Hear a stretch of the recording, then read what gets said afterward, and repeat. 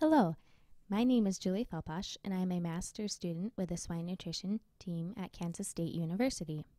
This abstract is entitled The Effects of Dietary Zinc Oxide and Chlorotetracycline on Nursery Pig Growth Performance. Over the next few minutes, I will be sharing with you the growth data from a National Pork Board funded project which explored the effects of feeding antibiotics and alternatives to antibiotics on methicillin resistant Staph aureus bacteria prevalence in swine. Methicillin resistant bacteria is primarily a human health concern, but there are questions regarding whether the feeding of antibiotics and alternatives to antibiotics, such as heavy metal microminerals, has an effect on increasing the prevalence of antibiotic resistant bacteria through selective pressure. There is much research to support that feeding pharmacological levels of zinc from zinc oxide to nursery pigs improves their growth. Since feed grade antibiotics entered this scene in the 1950s, research has also demonstrated that chlorotetracycline, hereafter denoted as CTC, fed to nursery pigs improves both their growth rates as well as their feed efficiency. This leads to the question are the benefits of feeding zinc oxide and CTC additive? Well, a 2001 NCR 42 Swine Nutrition Committee study showed additive effects of feeding zinc oxide with the antimicrobial Carbadox on nursery pig gain and feed intake. Work by Stahly and others in the 1980s showed that feeding another heavy metal, copper from copper sulfate, along with CTC in the diets could have an effect on improving nursery pig growth performance. Thus, our objective here was to compare the effects of feeding added zinc from zinc oxide alone or in combination with a low or high dose of CTC on nursery pig growth performance.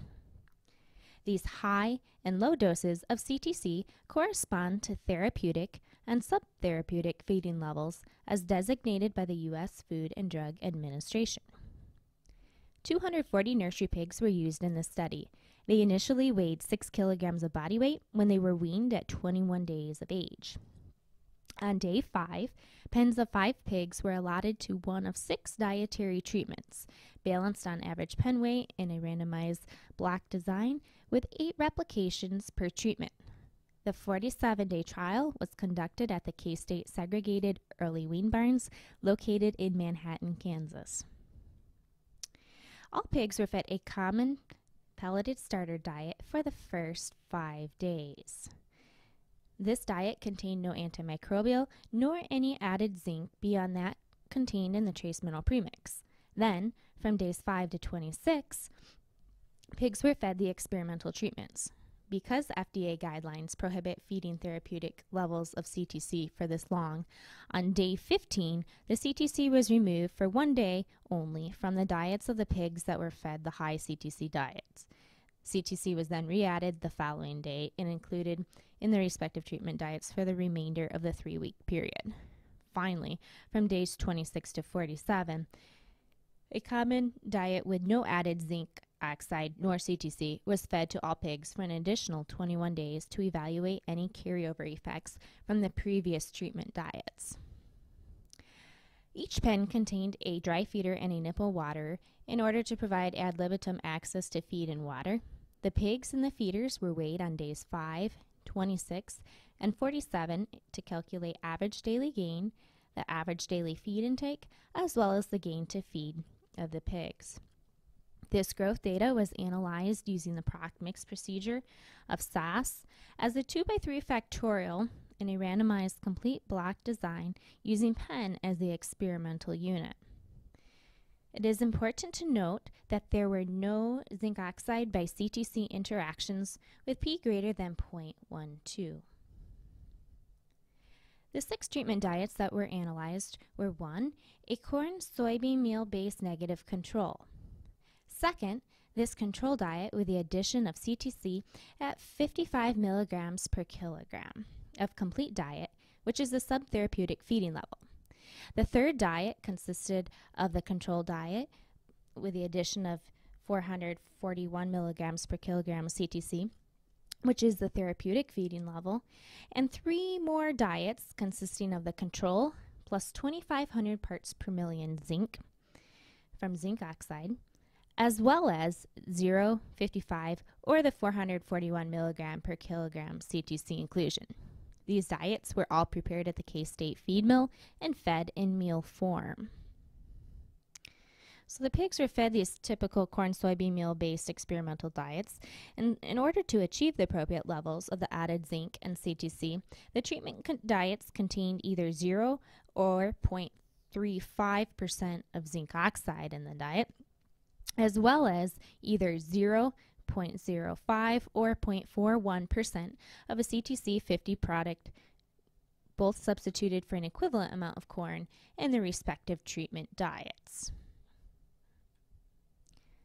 During the study, the diets were formulated to have an SID lysine level of 1.4% for the first five days, 1.35% in all six of the experimental diets, which were fed from days 5 to 26, and 1.22% in the common diet fed during the last 21 days of the trial all the amino acids were formulated to either meet or exceed the 2012 NRC requirements of these nursery pigs. The ME values um, slightly decreased during the phases of the trial, and as you recall, the corn inclusion varied slightly amongst the six treatment diets, and thus the ME values of those six experimental diets had a slight range from 3,263 to 3,287 kcals per kilogram. However, the crude protein of all six of the treatment diets was formulated to be 22.1%, and that of the final common diet was a bit lower at 21.4%. As shown by diet analysis, the basal zinc levels in all the diets were around 200 parts per million. Now, this zinc is coming from zinc oxide within the trace mineral premix, as well as endogenous zinc in the other uh, diet ingredients. Then, for the three experimental uh, treatment diets containing the added zinc oxide, we see that the final concentration of those were about 2,900 parts per million zinc. As we move into the results, recall that there were no interactions between the zinc and the CTC, so we will simply be looking at the main effects. In this slide and in future slides, our growth parameter is depicted here on the vertical axis and expressed in grams well along the horizontal axis, we have our six treatment diets denoted with the control in yellow and the three diets containing the added zinc oxide in blue. The lighter green and the lighter blue bars here denote our subtherapeutic feeding level of the CTC, while our darker green and our darker blue bars denote the therapeutic level of the CTC.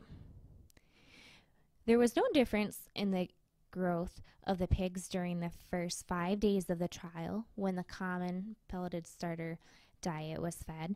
And so we'll jump right into looking at the growth performance of these pigs during the treatment period from days 5 to 26. We see here that pigs fed zinc oxide had about an 8% improvement in their average daily gain during the treatment period with p less than 0.001. Similarly, the pigs fed CTC also had a linear increase in their average daily gain as the CTC inclusion increased in the diets, with p equal 0.002. We observed about a 4% improvement in the average daily gain due to the subtherapeutic feeding level of CTC, while there was about a 7% improvement in the average daily gain due to the feeding the high level of CTC. During the same period when these pigs had these improved growth rates, we also observed an increase in feed intake, with zinc oxide increasing feed intake about 8% with P less than 0.001. Likewise, the pigs fed CTC also had a linear increase in their feed intake with P equal 0.02, with the high level of CTC giving us about a 4% improvement in average daily feed intake. Thus, the pigs fed the zinc plus the high CTC had the highest feed intake. Because we observe both the increased growth rates as well as the increased feed intake, it is not surprising that neither zinc oxide nor CTC had any effect on gain to feed during the treatment period from days 5 to 26. So, what happens though when the zinc oxide and CTC are removed from those pigs' diets? Well, from days 26 to 47, when the common diet was fed, there was no difference between the growth rates of pigs that had previously been fed zinc oxide and or CTC in their diets. Similarly, when the common diet was fed, there was no difference be- between the feed intake of the pigs previously fed zinc oxide and or the CTC in their diets. However, due to a very low level of variation across all six of our experimental diets, we picked up a slight decrease in feed efficiency of the pigs previously fed the pharmacological zinc oxide with P equal 0.03. Now, looking at the combined performance of the pigs across both the three week treatment period as well as the subsequent three week comment period, we see that overall the pigs fed zinc oxide maintained an increased average daily gain with P equal 0.04, while the pigs fed CTC tended to have an increased gain as CTC inclusion level increased with P equal 0.06. Similarly, we observed that overall, from days 5 to 47, the pigs fed the added zinc oxide still had increased average daily feed intake with P equal 0.02, while the pigs fed CTC tended to have a linear increase in feed intake as the CTC inclusion increased with P equal 0.06. Lastly, looking at overall feed efficiency, there was no effect of zinc oxide. However, the gain to feed of pigs fed CTC tended to increase, then decrease as the CTC level increased with P equal 0.07. In summary, during the treatment period when zinc oxide and CTC were included in the diets, both average daily gain and feed intake increased, but there was a minimal effect of either of those ingredients on feed efficiency. This agrees with previous copper research that I alluded to earlier and collectively suggests that the effects of CTC and heavy metals is additive. Additionally, the linear response to CTC indicates that maximum growth benefits may not be realized from CTC at current FDA levels. In closing, there is no beneficial effect of zinc oxide or CTC on subsequent nursery pig performance. However, the benefits from the treatment period were maintained to the end of the trial. I would like to thank the National Pork Board for funding this project and thank you for listening through this podcast. Again, my name is Julie Feldpausch, and I'd be more than happy to answer any questions you may have regarding this study. My email is listed here, jfeldpausch at ksu.edu. Have a great day.